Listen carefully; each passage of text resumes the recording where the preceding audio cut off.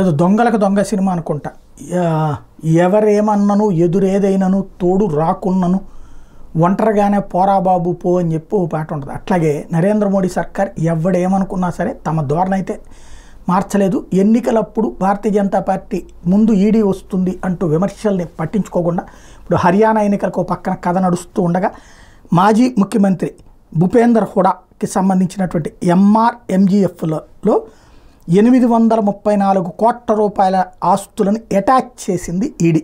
ఇప్పుడు తాజాగా ఇరవై గ్రామాల్లో గురుగాం ఢిల్లీ తదితర ప్రాంతాల్లో మనీ లాండరింగ్ కేసులో భాగంగా ఈ చర్యలు చేపట్టింది.